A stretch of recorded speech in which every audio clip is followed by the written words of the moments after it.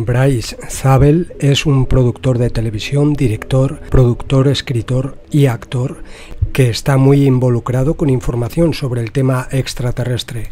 Curiosamente es coautor con Richard Dolan del libro After Disclosure del año 2012, que trata sobre el tema de una presencia extraterrestre en la Tierra que interactúa encubiertamente con humanos y gobiernos y lo que ocurre cuando este hecho se hace público.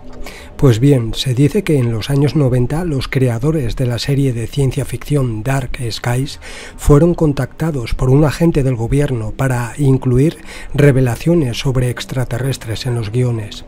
Entre los creadores de dicha serie estaba el productor Bryce Zabel, quien afirmó que el agente le dijo que preparara al público para cuando se haga contacto a nivel mundial con los extraterrestres.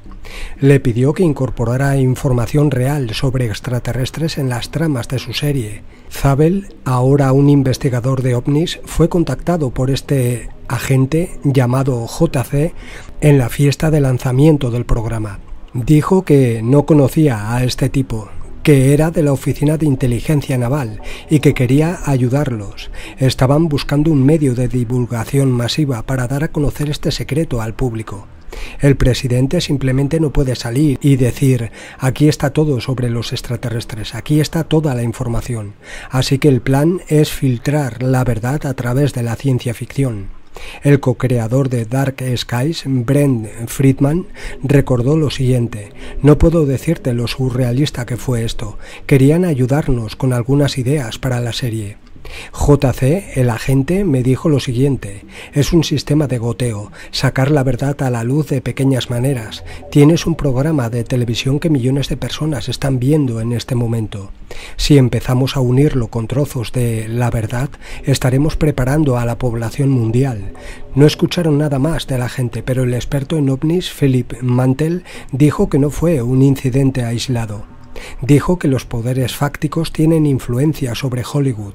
Hubo un tiempo en que las películas de alienígenas trataban sobre estos seres invadiendo el planeta, como la Guerra de los Mundos pero después se volvieron amigables, como ET, por ejemplo, donde los alienígenas resultan ser agradables y amigables. La teoría es que nos están preparando para el contacto, así que cuando aparezcan extraterrestres pensaremos que no tenemos de qué preocuparnos. Algunos investigadores de ovnis, algunos investigadores de ufología piensan que un anuncio es inminente, las imágenes de vídeo de encuentros entre aviones de combate y ovnis se han publicado en los últimos meses y años, y el año pasado un informe dijo que Estados Unidos no podía descartar la posibilidad de vida extraterrestre. Bryce Zabel y Ross Coulthard en su canal de YouTube entrevistaron a un ex agente de inteligencia, David Charles Grush, confirmando que durante décadas las Fuerzas Armadas de los Estados Unidos, las empresas contratistas del Pentágono y gobiernos aliados han recuperado fragmentos y naves de fabricación no humana. Estos objetos han sido sometidos a análisis que han determinado un origen no humano, que puede ser extraterrestre o desconocido. Gruch entregó toda la información que posee al Pentágono, acogiéndose a la protección que ofrece a los delatores la última ley de autorización de defensa nacional, que dedicaba 14 páginas al problema de los ovnis o UAPs. La ley establece que cualquier persona con información relevante sobre los UAP puede informar al Congreso sin represalias. David Gruch dijo lo siguiente.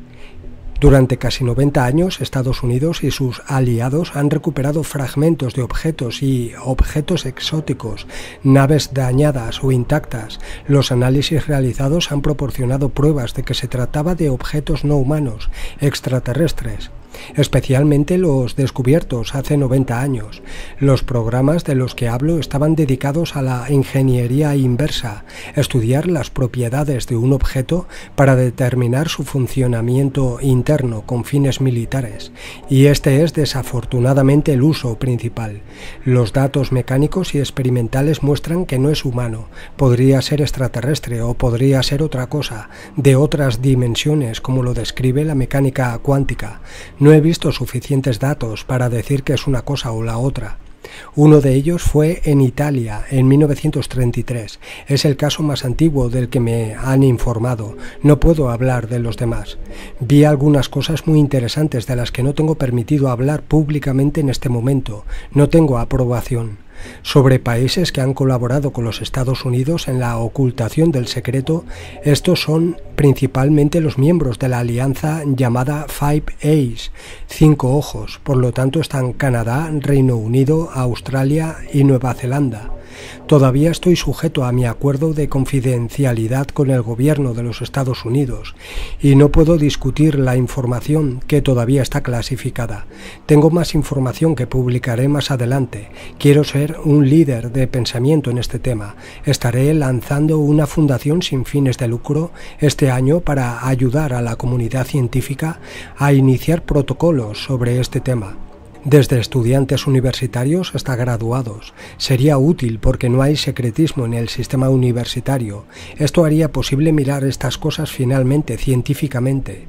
Después, en otro vídeo, Bryce Zabel y Ross Coulthard comentaron toda esta información y Bryce Zabel dijo que según la información que ha podido recopilar de varios informantes es que preparan alguna llegada alienígena hostil al planeta, que no será nada bueno lo que preparan. Después tenemos el Comité de Servicios Armados del Senado que celebró una audiencia sobre la Fuerza Espacial el pasado 11 de abril, en la que el senador de Connecticut, Richard Blumenthal, alertó de que su preocupación era que el pueblo estadounidense no tiene los hechos porque están clasificados y si lo tuvieran estarían bastante alarmados. Sin los hechos, teme que el público no entienda por qué hay una urgencia con respecto a la seguridad del espacio, que hay un peligro en el espacio que se acerca. Como podemos ver, están preparando al mundo de la presentación de una presencia hostil que viene del espacio. Blumenthal agregó lo siguiente, creo que tenemos la verdadera obligación de explicar a los estadounidenses por qué el espacio es un dominio que importa, por qué las amenazas son reales y urgentes, por qué están creciendo en importancia.